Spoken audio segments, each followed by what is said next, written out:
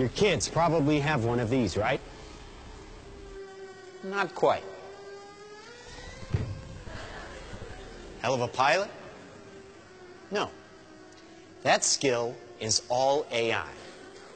It's flying itself. Its processor can react a hundred times faster than a human. The stochastic motion is an anti-sniper feature.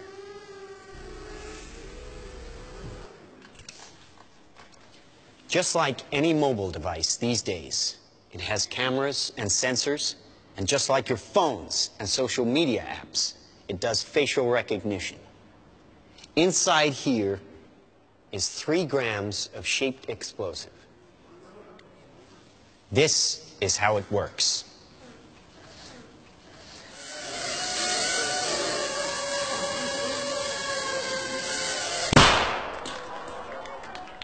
Did you see that? That little bang is enough to penetrate the skull and destroy the contents. They used to say guns don't kill people. People do. Well, people don't. They get emotional, disobey orders, aim high. Let's watch the weapons make the decisions.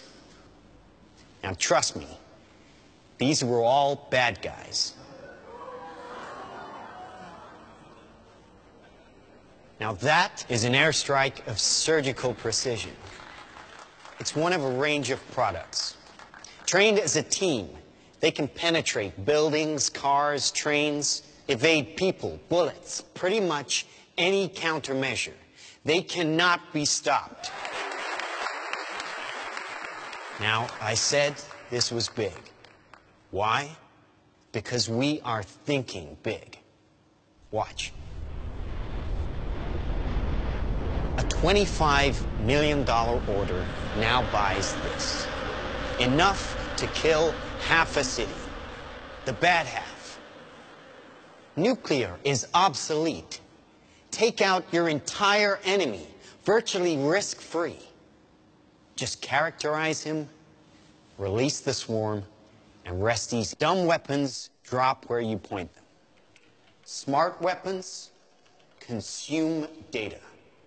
When you can find your enemy using data, even by a hashtag, you can target an evil ideology right where it starts.